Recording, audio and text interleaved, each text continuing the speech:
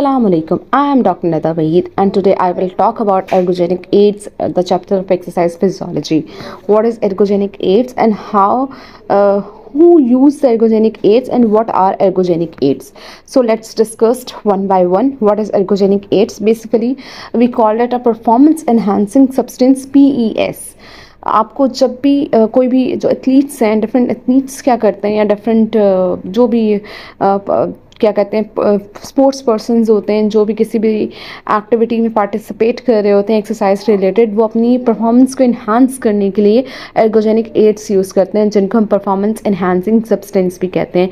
It can be some nutrient it can be some drug it can be warm up exercises blood doping oxygen breathing it can be music और extern extrinsic biomechanical aids performance enhancing substance की बात करें तो जितने भी different competitions पे लोग sports में पार्टिसिपेट कर रहे होते हैं तो हर बंदा ही ओवरऑल यूज़ करता है। रीज़न बेसिकली क्या होता है? लोग सोचते हैं कि बाकी लोग भी यूज़ करते हैं तो हम इसलिए भी यूज़ करने चाहिए। अगर हम इसकी प्रेवलेंस की बात करें एलाइट एथलीट्स की elite athletes basically the athletes who participate at national level international level और at any level in any sports तो इनमें फोर्टीन परसेंट से थर्टी नाइन परसेंट डोपिंग देखी गई है कि ब्लड डोपिंग वो यूज़ कर रहे हैं। लेकिन एग्जैक्ट और एक्चुअल परसेंटेज ऑब्वियसली आप मालूम नहीं कर सकते क्योंकि हर स्पोर्ट्स पर्सन थोड़े आपको बताएगा कि वो ब्लड डोपिंग करता है या कौन से परफॉर्मेंस इन्हांसिंग सब्सटेंस यूज़ करें लीगलाइज कुछ हमारे पास हैं, कुछ परफॉर्मेंस इन्हांसिंग सब्सटेंस कुछ हमारे पास अर्गोजेनिक एड्स लीगलाइज नहीं है इलीगल हैं। तो इसकी रीज़न क्या है? लीगल और इलीगल होने की। इलीगल वो जो जो मना हो, जो आप गवर्नमेंट में जब अगर आप जाते हैं बाहर खेलने इंटरनेशनल लेवल पे खेलने जाते हैं स्पोर्ट्स पर्सन जब भी जा रहे होते हैं तो उनके एक ड्रग टेस्ट होता है, जिसमें देखा जाता है अगर ड्रग का अमाउंट ज़्यादा होता है तो फिर उनको वो जो जो इलीगल एर्गोनोजेनिक एड्स है, अगर उसमें उनका ड्रग्स का अगर यूज़ होता है तो फिर वो उनको बाहर निकाल दिए जाते हैं, वो डिसक्वालीफाई हो जाते हैं जो भी खेल के लिए जा रहे हैं। क्यों? क्योंकि जितने भी एर्गोजेनिक एड्स हैं, आपकी परफॉर्मेंस को बहुत ज़्यादा इन्हांस कर रहे होते हैं, आप में बहुत ज़्यादा फास्ट रिकवरी कर रहे होते हैं और बहुत ज़्यादा हेल्पफुल रहते हैं।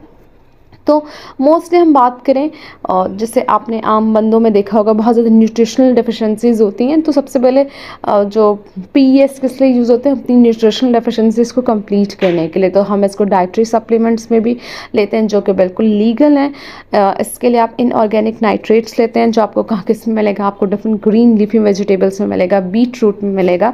जैसे जैसे आप इसको इंजेस्ट करते हैं तो नाइट्रेट में कन्वर्ट हो जाता है नाइट्रेट से नाइट्रिक ऑक्साइड में कन्वर्ट हो जाता है, जो कि आपके लिए बहुत ज़्यादा हेल्पफुल रहता है सर्कुलेटरी और मेटाबॉलिक फ़ंक्शंस के लिए। तो नाइट्रेट सप्लीमेंट्स भी लेते हैं कुछ, और नाइट्रेट सप्लीमेंट्स किस लिए ली जाती है? बीपी लो रहता है और ऑक्सीजन कंजम्पशन प्रॉपर हो पाती है। कम एक्सरसाइज आप ज़्यादा एक्सरसाइज कर लेते हैं, लेकिन ऑक्सीजन जो है आपका जो ऑक्सीजन जो है, आप जल्दी थकते नहीं हैं। आपको जो है ऑक्सीजन आपका जो है यूज़ आराम से हो जाता है। आपकी जो एफिकेसी बेहतर होती है। लेकिन ऑब्वियसली कोई रिसर्च अभी तक कोई एडिशनल रिसर्च या प्रॉपर क्लियर से रिलेटेड इन्फॉर्मेशन हमारे पास नहीं है। एक और सप्लीमेंट की बात की जाए that is sodium phosphate it increases V O two max in both average and elite cyclist तो किस लिए हेल्पफुल है? एंड्योरेंस परफॉर्मेंस के लिए हेल्पफुल है, लेकिन वही रिसर्चेस कम हैं हमारे, हमें, हमारे पास। लेकिन डाइट्री सप्लीमेंट से आपको ये फ़ायदा तो हो रहा है कि आप में न्यूट्रिशनल डेफिशेंसीज नहीं होंगी। अच्छा जब 1994 में dietary supplement health and education ने क्या किया, एक एक्ट पास किया जिसमें उसने नाम दिया बायर, बी अवेयर। उस एटीट्यूड ये बेसिकली क्या था कि जो भी बायर है, जो भी खरीद रहा है, हम उसको उसके प्रॉस एंड कॉन्स सब बता देंगे। अब उसकी अपनी मर्ज़ी है, उसको लेना है, उसको नहीं लेना। ठीक है, अब क्या हुआ कि लोगों ने फिर, जो लोग सोचते हैं, ये भी ले रहा है, मैं भी लेता हूँ, सब लेना शुरू हो जाता है। फिर क्या हुआ? इन्होंने इस चीज़ को रेगुलेशन जो है वो प्रॉपर कोई ऑथेंटिसिटी कोई प्रॉपर चेक एंड बैलेंस ख़त्म हो गया। तो उन्होंने देखा कि बहुत ज़्यादा लोग जो है ना इसको यूज़ करना शुरू करते हैं तो उन्होंने इसको लीगल इलीगलाइज की टर्म में उन्होंने इसको कैटेगराइज कर दिया। और जब भी एथलीट बाहर जाते हैं कोई भी स्पोर्ट्स के लिए तो उनका ड्रग टेस्ट किया जाता है। इसीलिए ताकि हम देख सकें कि क्या चीज़ें वो ले सकते हैं और क्या चीज़ें वो नहीं ले सकते। जो चीज़ें ले सकते हैं, उनको लीगलाइज टर्म में कर दिए और जो चीज़ें नहीं लेनी चाहिए उनको इनलीगल कर दे दिया है। इसीलिए क्योंकि बहुत सारे न्यूट्रिशनल सप्लीमेंट्स में बहुत सारी ड्रग्स ऐड थी और वो पता नहीं चल रहा था। तो उन्होंने इस चीज़ को प्रॉपर चेक एंड बैलेंस रखने के लिए ये आ, जो उन्होंने कैटेगराइज कर दिया ताकि जो है हर बंदा जो है वो इलीगल जो सब्सटेंसेस यूज़ करके अपनी परफॉर्मेंस को इंक्रीज़ ना करें। तो जो परफॉर्मेंस इन्हांसिंग सब्सटेंस हैं उसमें डाइट्री सप्लीमेंट्स बहुत ज़्यादा फ़ायदा पहुँचा रही होती हैं। बॉडी में कोई डेफिशेंसीज नहीं हो रही होती हैं। तो जब डेफिशेंसीज नहीं होगी तो पेन स्पैज़म से ज़रा आपकी बॉडी बेहतर रहती है। देन हम बात करते हैं एरोबिक परफॉर्मेंस की। जब जब आपके पास एक्सरसाइज का नाम आएगा तो आपके साथ पास ऑक्सीजन का भी नाम आएगा। क्योंकि ऑक्सीजन बहुत ज़रूरी है आपकी परफॉर्मेंस को इन्हांस करने के लिए।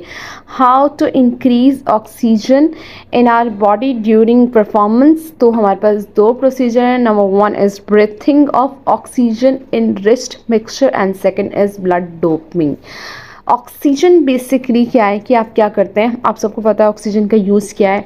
ऑक्सीजन किस लिए आप लेते हैं? आपकी बॉडी अच्छे से काम करती है एरोबिक मेटाबॉलिज्म प्रॉपर होता है एटीपी प्रोडक्शन प्रॉपर हो रही होती है और आपकी परफॉर्मेंस उससे इन्हांस हो रही होती है। अब ऑक्सीजन कब लेनी चाहिए? क्यों लेनी चाहिए? अब क्या हुआ ऑक्सीजन रिस्ट मिक्सचर आपको मिलता है, अगर आप पिक्चर में देख रहे हो। बेसिकली ये बॉटल्स में ऑक्सीजन रिस्ट मिक्सचर है। इसमें ऑक्सीजन की ना ऑक्सीजन प्योर ऑक्सीजन जो है वो दी जाती है ताकि जो है वो अपनी परफॉर्मेंस को इन्हांस कर सके। आपको पता है, जब भी ऑक्सीजन की कमी होगी तो फटीक में आपकी बॉडी जा रही होगी कार्बन डाइऑक्साइड ज़्यादा हो जाएगा। कार्बन डाइऑक्साइड ज़्यादा होता है हाइड्रोजन आइन ज़्यादा होते हैं। जब भी कार्बन हाइड्रोजन आइन ज़्यादा होंगे तो body automatically lactic acid accumulation start हो जाएगी और बॉडी फटीक में चली जाएगी। तो ऑक्सीजन बहुत ही ज़्यादा ज़रूरी है कि आपकी बॉडी जो है थके ना।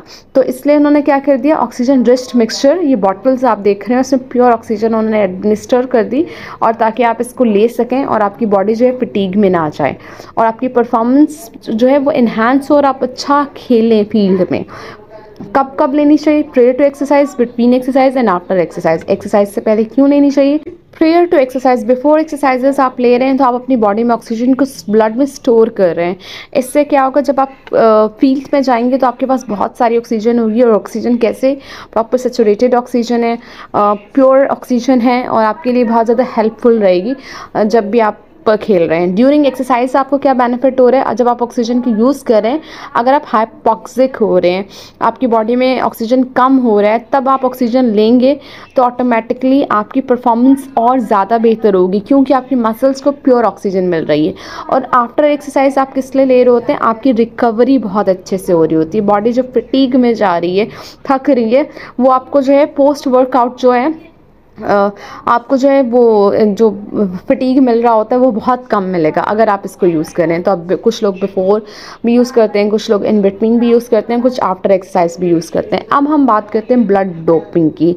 ब्लड डोपिंग को हम ब्लड बूस्टिंग भी कहते हैं या ब्लड पैकिंग भी कहते हैं। इसमें आप बेसिकली क्या करते हैं रेड ब्लड सेल्स आप पिक्चर में देख सकते हैं रेड ब्लड सेल्स को आर को इन्फ्यूज कर रहे हैं बॉडी में।